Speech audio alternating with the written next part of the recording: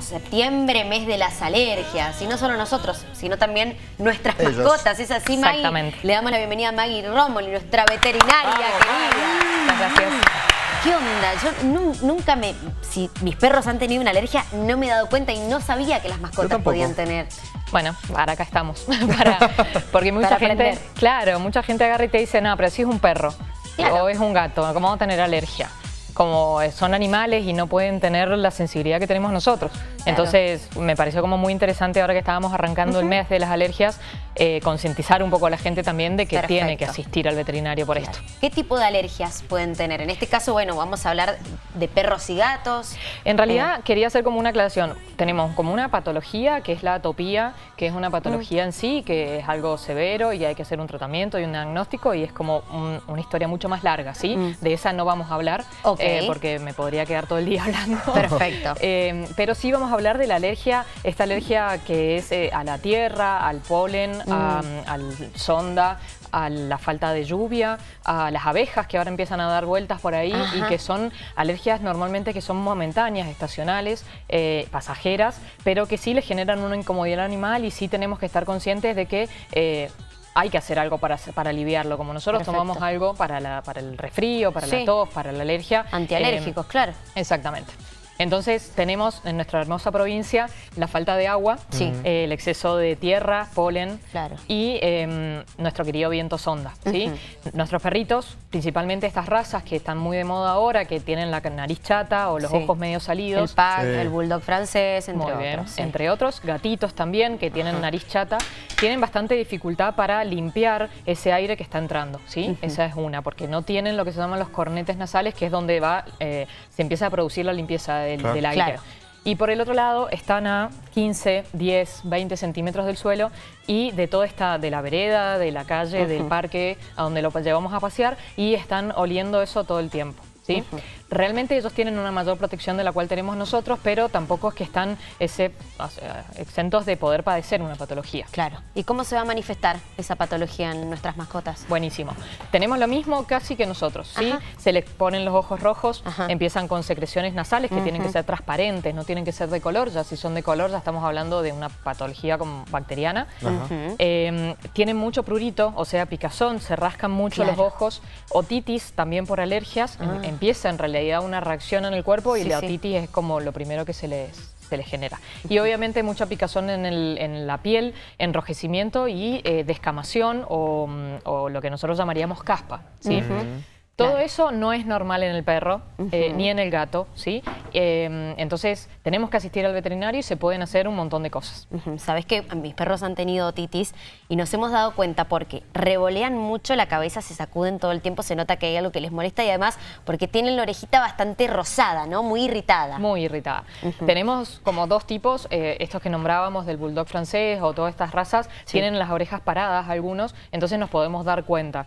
Muchos vienen con las orejas caídas, como por ejemplo un labrador, un ovejero o cualquier mestizo con las orejas caídas y hay veces es un poquito más difícil para el propietario darse cuenta. Claro. Pero tenemos que tener la rutina de levantarle la oreja al perro, eh, ver cómo está esa coloración. Una coloración negruzca dentro de la, de la oreja tampoco es normal. O sea, no porque el perro es perro y vive en el patio es sucio, ¿sí? Lógico. Si tiene exceso de, de- de secreción en las orejas, hay que ver qué es lo que está pasando. Maggie, ¿y la edad de la mascota del perro influye? ¿El perro o del gato? ¿Hay una edad que sean más propensos a tener este tipo de alergias? ¿No? ¿Simplemente es la raza, como recién explicabas?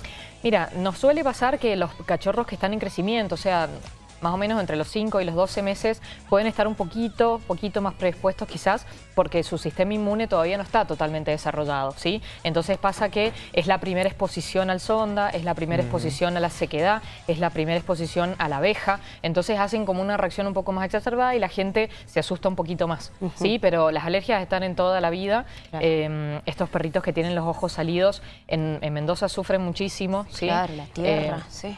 La tierra va directamente, la, la posibilidad de limpiarse los ojos al estar hacia afuera es como menor, ¿sí? Y otras, otras cosas que nosotros podemos evitar y que tenemos que también tener en cuenta es el cigarrillo dentro de la casa, ¿sí? que estaría bueno que la gente deje de tener esa costumbre, eh, tratar de fumar afuera, no solamente por los perros, sino por los niños y por Sí. las personas mismas. Por supuesto. Eh, y el tema del lavado excesivo de los pisos. Ah. que en algún momento lo hablamos con el tema de los cuidados del COVID, Sí. y la gente se ha quedado acostumbrada a poner mucha lavandina en el piso, mucho desinfectante en el piso. Claro, y ellos la- Las almohadillas directamente en contacto con eso. No solamente las almohadillas, sino que la cavidad nasal. O sea, ellos van como... Respiran muy respi- Exactamente. del piso. Y a veces que a nosotros nos pasa que estamos lavando el trapo y se nos vienen esos vapores y te deja una sensación en la nariz. Imagínense un perro que va a olerlo y está a 10 centímetros de lo que acabamos de limpiar. Entonces, no digo que no limpiemos, digo que tomemos precauciones como sacar al perro o al gato del lugar donde vamos a limpiar Bien. y airear el espacio antes y dejar que se seque bien antes de volver a incluirlo. Y una vez que notamos alguno de estos síntomas que hemos mencionado, Maggie, que, que se rascan mucho, que tienen un poco de, bueno, de mocos, hay que decirlo así, Claro. ¿qué hacemos? ¿Nos llevamos al veterinario? ¿Cómo es el tratamiento?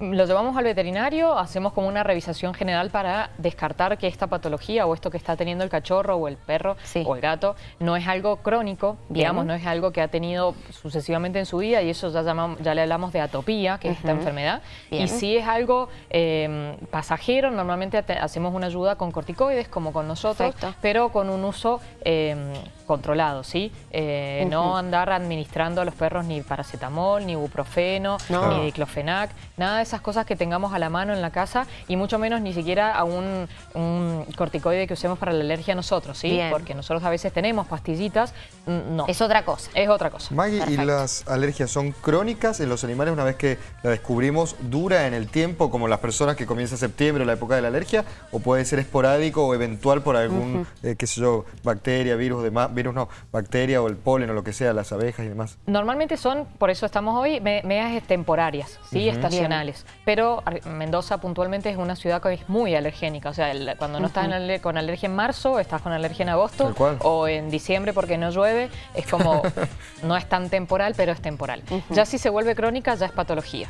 ¿sí? Entonces, eh, como el alérgico es alérgico y es asmático y es asmático toda su vida, el perro también que es alérgico y repite, eh, ya tenemos que considerarlo y ver qué es lo que vamos a tratar y según la sintomatología que tenga. Perfecto. Perfecto. Bueno, nos hemos sacado varias dudas. En realidad Muchas. hemos conocido sobre esto porque muchos seguramente no tenían idea que nuestras mascotas también pueden tener alergias. Así que a tener en cuenta y a prestar atención a esos síntomas, chequear las orejitas. Si lo ves irritado, bueno, podría llegar a ser una otitis. Si ves que se está rascando mucho, que hay algo que le molesta, bueno, podría llegar a ser una alergia y es oportuno que consultes con tu veterinario. Maggie, gracias como siempre. Un Gracias, placer. Mariana, un Bueno, chicos, placer. muchas gracias a todos.